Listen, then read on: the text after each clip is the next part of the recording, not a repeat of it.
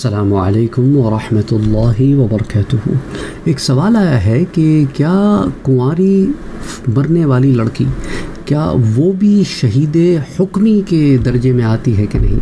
याद रखें, शहीद हकीकी और शहीद हुक्मी, ये दो अलग कैटेगरीज़ हैं शहदा की। शहीद हकीकी, वो जो हकीकी मानों में शहीद हुआ हो अल्लाह की राह में जिसने शहादत शहादत हासिल की हो। और शहीद हकीकी की डेफिनेशन के बाद, शहीद हुक्मी की डेफिनेशन सुने कि वो जिन पर शहादत का हुक्म लगाया जाए, वो अल्लाह की राह में शहीद ना हुए हों। इस पर मैं आपको बड़ी तफसील से शहीद हकीकी और शहीद हुक्मी के दरमियान फ़र्क भी बता चुका हूँ। और शहीद हुक्मी की इकसाम भी मैं आपको पहले बड़ी तवील दुरूस में बता चुका हूँ।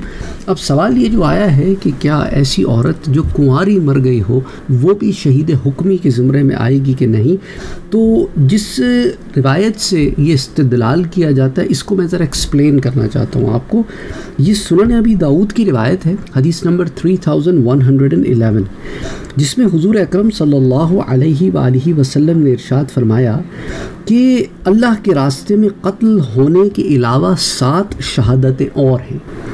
बाज़ रिवायात में इससे जायद कैटेगरीज़ का ज़िक्र आया, लेकिन इस रिवायत के अंदर जिन कैटेगरीज़ का ज़िक्र आया है, उनमें से एक है जो ताउन से वफ़ात पा जाए। अलमतून शहीद वलगरीक़ शहीद यानी जो डूब कर वफ़ात पा जाए वो भी शहीद के ज़ुमरे में आएगा व साहिब ज़ातम भी शहीद ज़ातुलजम्ब में वफ़ात पाने वाला जो बीमारी है उसमें इसी तरह जो पेट की बीमारी में वफ़ात पाए उसे भी इसी तरह फरमाया जो जल कर व साहिब हरीक व साहिबुल शहीद जो जल कर वफ़ात पाए इसी तरह फरमाया कि वल्लदी यमूत तहतल हदमी शहीद जो किसी चीज़ के नीचे दब कर मर जाए, वो भी इस ज़ुमरे में आए, ज़ुमरे में आएगा।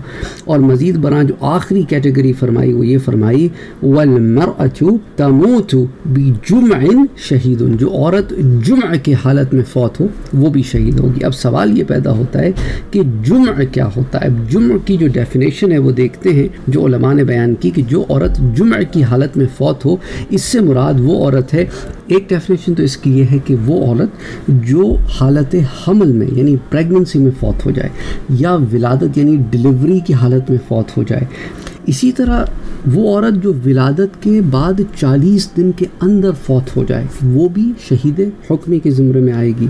इसी तरह बाज़ ने जुम की डेफिनेशन ये भी बयान फरमाई है कि इससे मुराद कुंवारी औरत है जो बग़ैर शादी फौत हो जाए। ये तमाम तफसीलात जो हैं लफ्ज़ जुम की ये मरातुलमनाजीह की जल्द नंबर दो सफ़ा नंबर 420 पर आती हैं कि ने लफ्ज़ जुम से मुख्तलफ़ माना लिए हैं। तो इस माना के तहत वो औरत जो कुंवारी मर जाए वो भी शहीद हुक्मी के ज़ुमरे में वो दाखिल हो जाएगी। असलकम वरहमल वर्क Don't forget to like, share, comment and subscribe to Sayyid Saad Qadri.